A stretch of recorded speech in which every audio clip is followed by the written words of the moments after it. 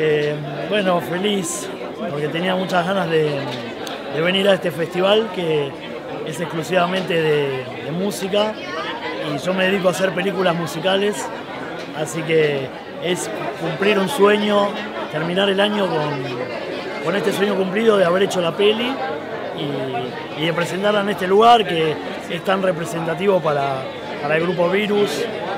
Así que vengo en representación de todo un equipo enorme y de los hermanos Moura.